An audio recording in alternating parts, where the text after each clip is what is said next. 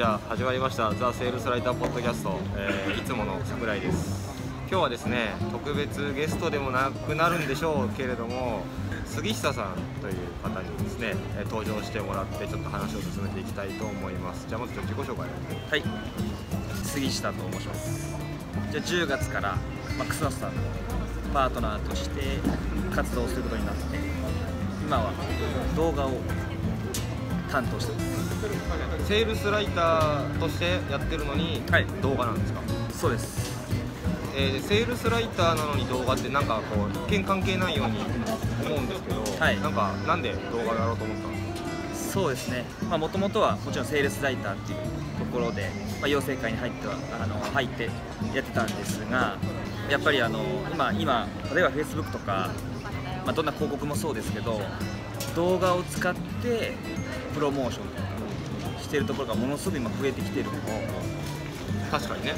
例えばあの Amazon とかで物を買うときにその使い方の動画とか。あの要は写真みたいな場所？そうそうそういわゆる。はい。あれが動画になってることがあるんですか？そうですそうですへとかホワイトメディアっていうサイトとか。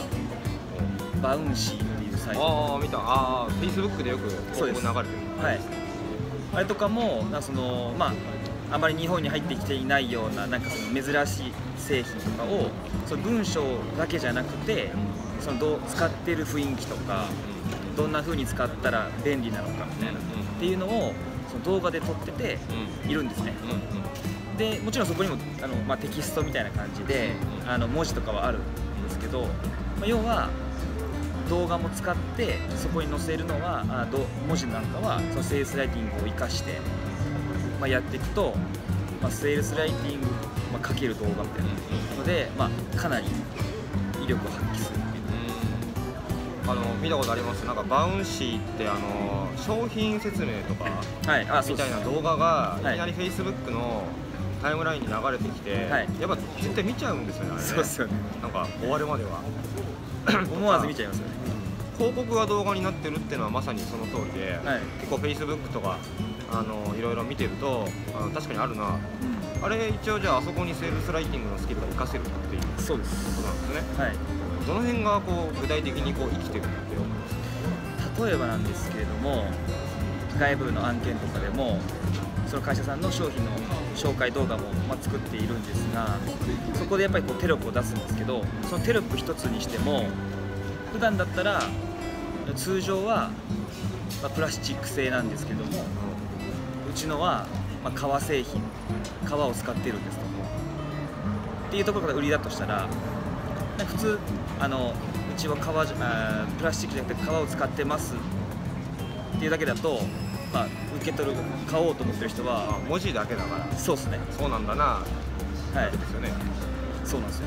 なんですけど逆にそのセールスライティングっていうのに生かすと例えばそのメリットが買い手にとってどういうベネフィットがあるのかっていうところで表現する。文字が変わったりとかもあるし。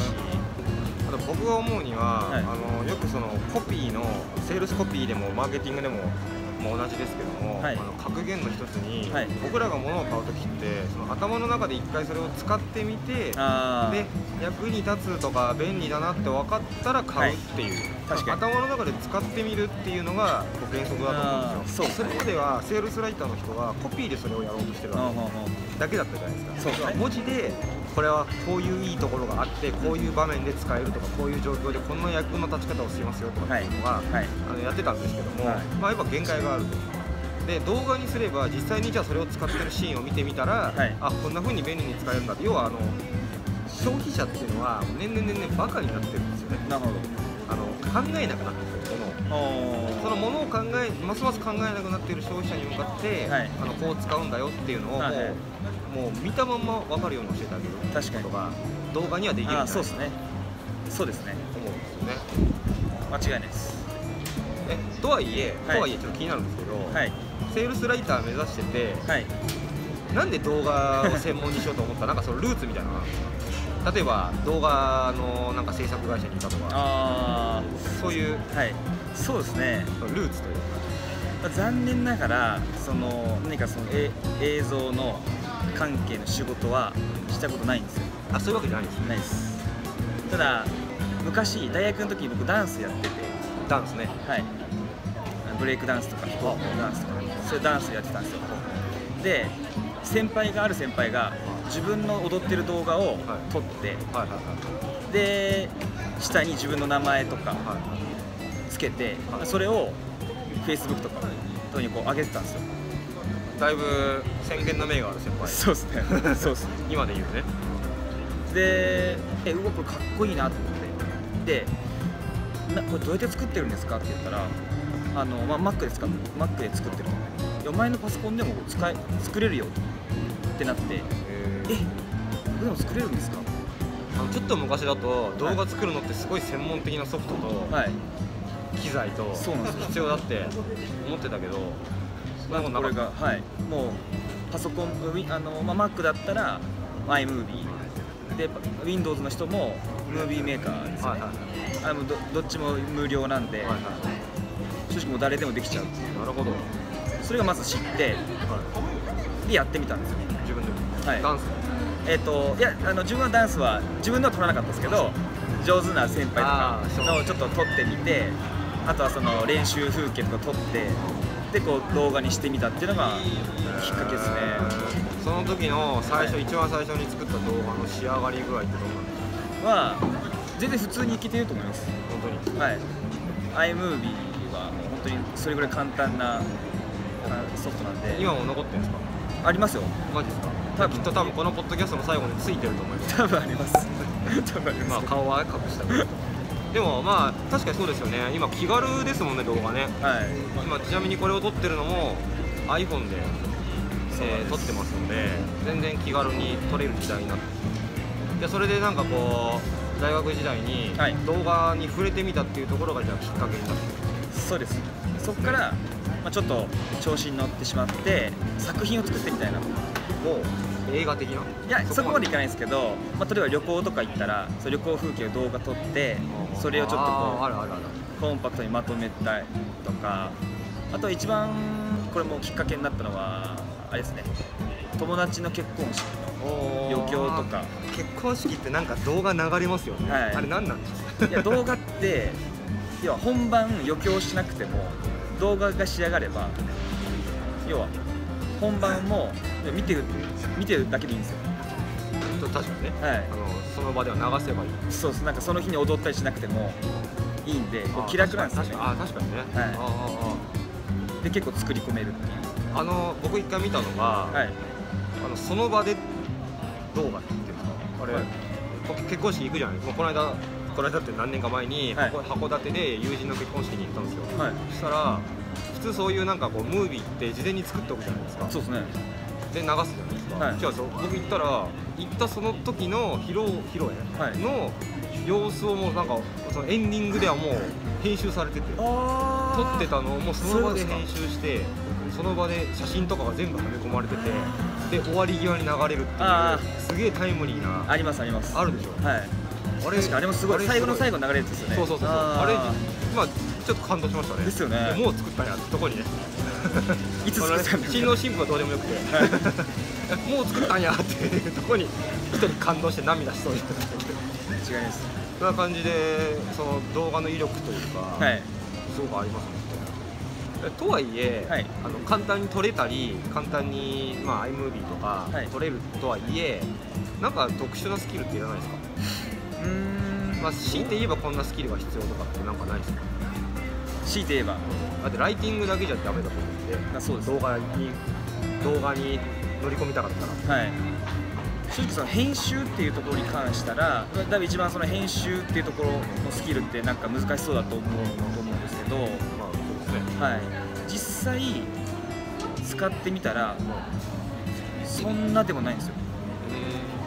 特に iMovie あのマ Mac の動画ソフトだったらどんどん分かりやすくなっていってるんで、まあ、そのカタカナの文字がよく分かんないってことああっても慣れてしまえば全然直感的にできる。いきます。へ本当すごいって思います。えなるほどね。はいそうですね。多分僕が思うにセールスライターがもしね仮にじゃあちょっと動画にこう取り組みたいと、はい。動画をやりたいと。でもまあいきなり最初から例えばビデオセールスレターとか、うん。まああれもまたちょっと難しかったりとか、はい。長かったりすると思うんですけどそうですね。あの僕はおすすめするすぐに動画をやってみるといいじゃんっていうのはもしあなたがこの次にセールスレターを書くとしたらその商品を動画で撮影してうん。はめ込むみたいな。ああそうですね。要は一部に使う。全部をなんか VSL みたいにやろうとすると大変だけど、はい。その商品説明をどうせしていく中で YouTube のね埋め込みできるからあれをこうセールスレターの一部にはめ込むみたいなのは全然すぐできる。のでそうですね。それやるだけで全然違うんじゃないかな。確かに。見ね。た目もちょっと変わりますしね。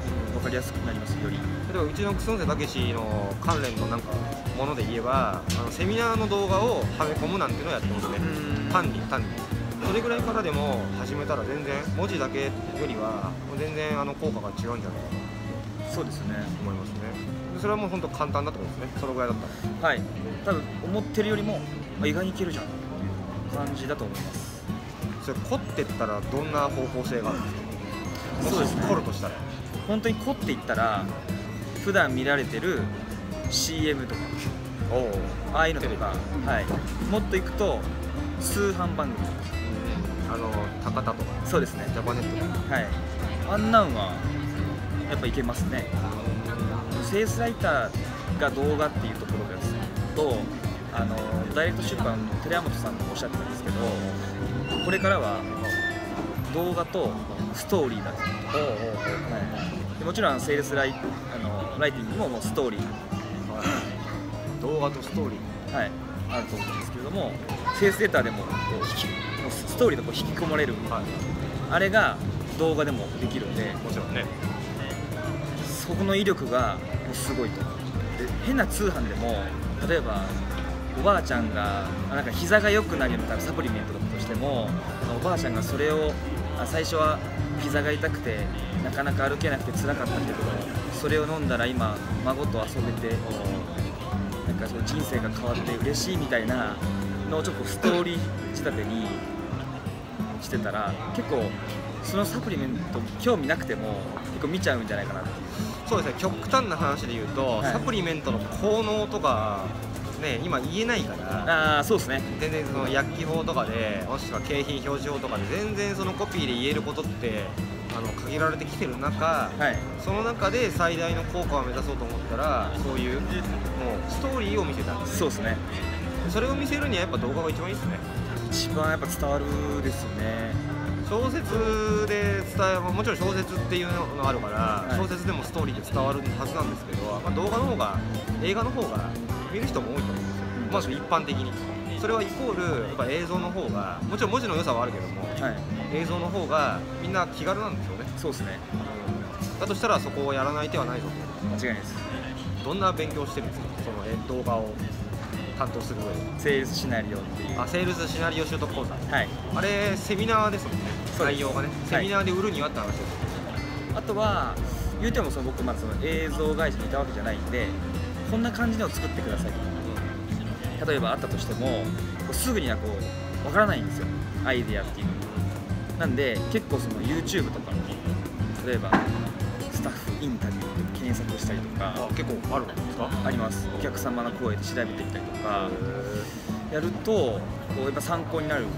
でもう客観的にそれを見てあこれすごいちょっと今見入っちゃったなとかあこんな編集あったら確かに見る側にとって親切だなとかそういうのは結構盗んでる。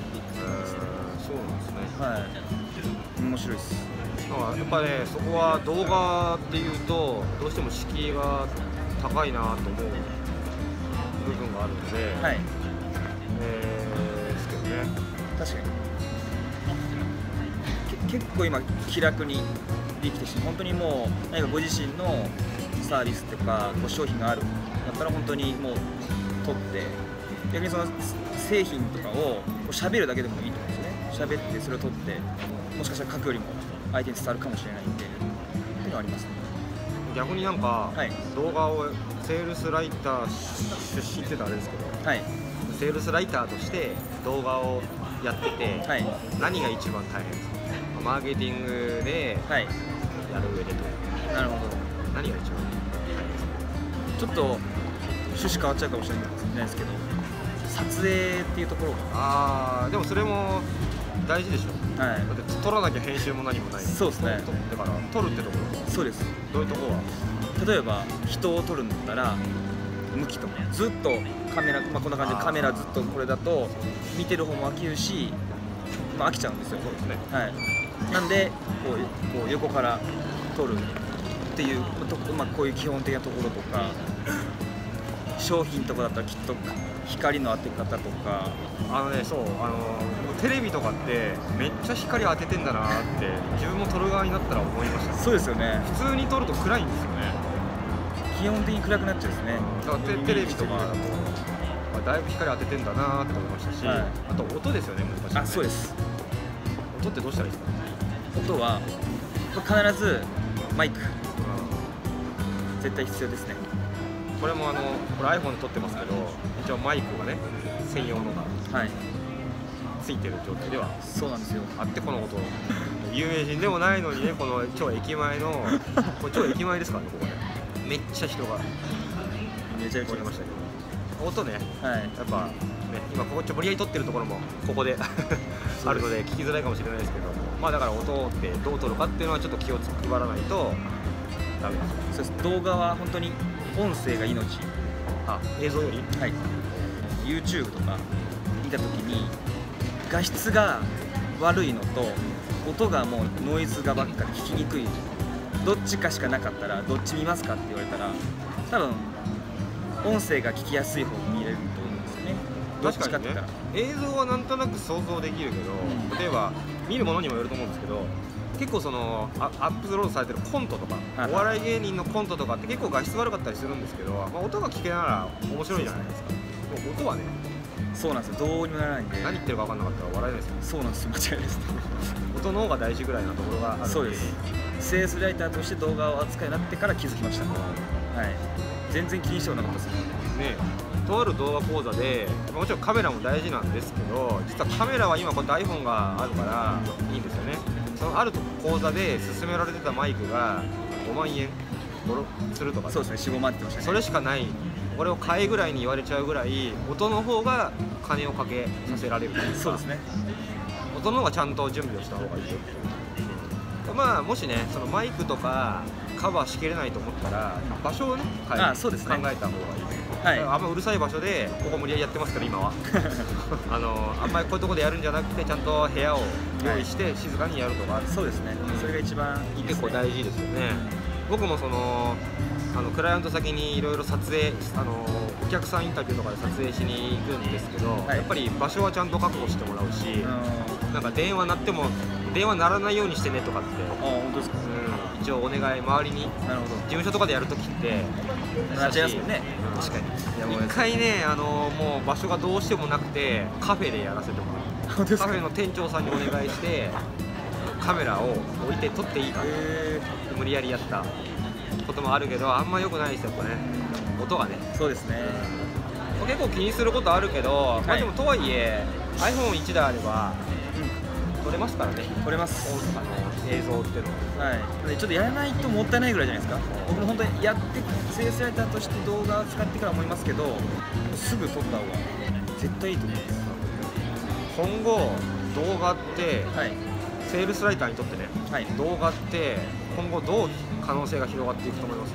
はい。あのー、1個これもあの寺本さんがおっしゃっててなるほどなと思ったことなんですけど例えば情報商材自分の今までのスキルをサービスとして売ったりですとかその要は物がないもの。はいはい。これはやっぱり動画じゃない。動画の効果がめちゃめちゃ高い相性がいい。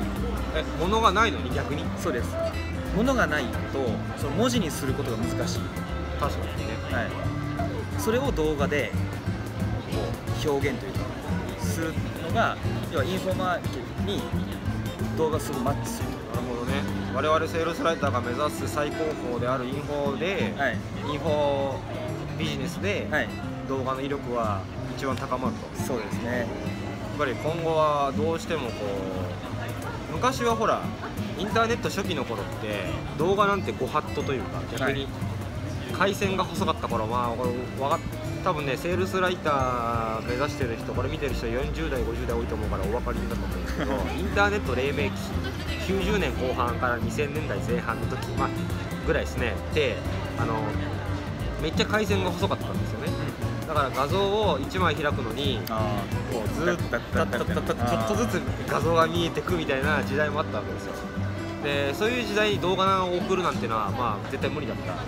だからな長い長らくインターネットマーケティングインターネットウェブビジネスっていうのは基本的に動画はなかったんですけど回線も太くなったら速くなってるしこういうモバイル機器の発展もあってどんどんどんどんその環境が動画やるっつってるんですよね。どうん。もうね。間違いないです。テレビっていうのはね昔から流行ってたわけで、動画ですよねもちろんでそれはネットではできなかったんだけどネットの環境がその動画もいいんじゃないっていう環境になってきたからその動画っていうのにある意味原点回帰でしょテレビに。